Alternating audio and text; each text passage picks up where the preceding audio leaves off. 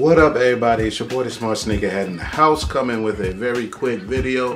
Before we get started, please hit that thumbs up, comment, subscribe, truly goes a long way. Pardon how I sound, I'm coming off of a cold that I can't seem to shake. So if I sound a little groggy, that's why. But I had to do this video because I'm super hyped about these two unboxings I'm gonna do. So let me get right into it.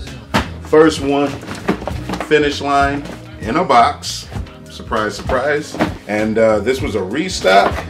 And I'm super hyped to get these because not only did I strike out on them last year, but I was able to use my finish line rewards.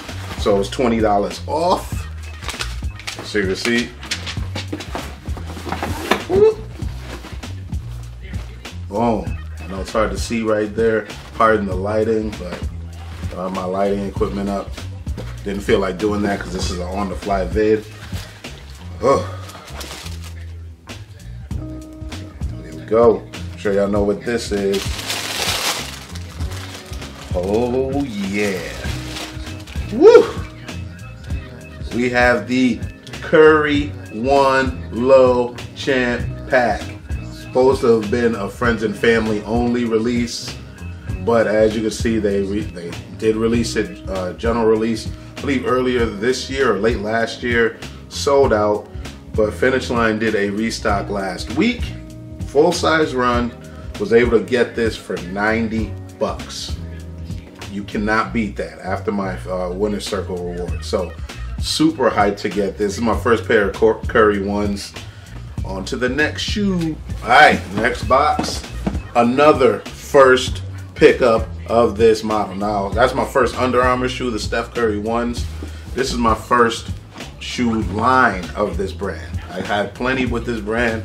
This is my first shoe line. I'm super hyped because everybody says, hint, hint, it's the most comfortable shoe out there.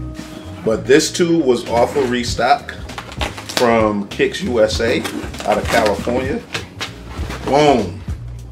Yeah, buddy. I'm hyped. I am hyped.